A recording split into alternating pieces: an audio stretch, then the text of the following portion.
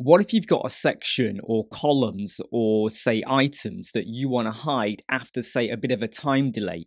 This is actually really simple and easy to do. I've got over here two sections. Now you see me with a bit of like a, uh, a coffee cup going on there. There's a reason for that.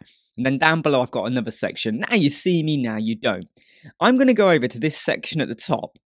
And in the section, right, for the section, I'm going to give it some CSS code. The CSS code for this will be in the description, okay? So don't worry about it. You can see here where it says 5 seconds, 5 seconds, 5 seconds. So if you want to change it to be 10 seconds or 50 seconds or whatever, you can go ahead and do that. But you don't really need to change much here. It's just a time delay. If I now go to advanced, I'm going to give this section the word hide me. And I'm going to click update. And now I'm going to go to preview. Now just look at this preview, okay? Three, four, five. Did you see that? I jumped to three because two seconds had already passed, but after five seconds, that entire section has disappeared.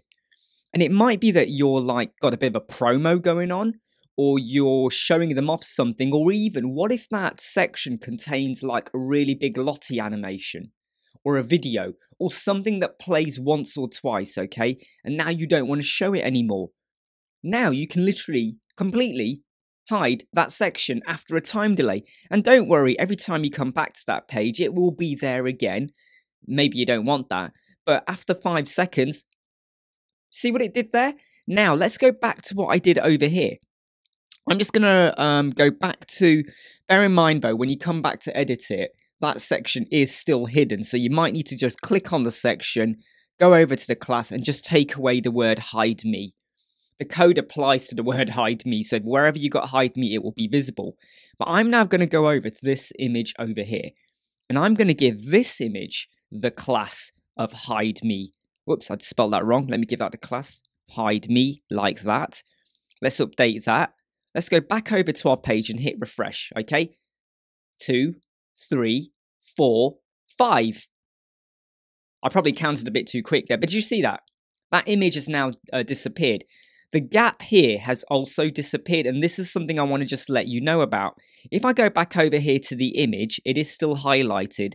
Can you see here it's got a 100 uh, padding um, at the bottom of that image in terms of how it was spaced. So when you remove it, if there was any section or padding added to that specific item, that will also disappear. But you could have like an entire section or even just an item you know, it might be there's a like something there that says, hey, don't miss out on this offer. Then after 50 seconds, that item disappears and everything readjusts for it.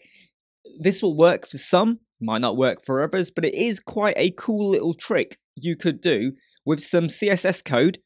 Okay, like I've shown you over here, and just make sure you've got the word hide me. So I put the word hide me back into the section like that, update that, it will now do it to the entire section after 5 seconds. Uh, I hope you like, subscribe, share and follow.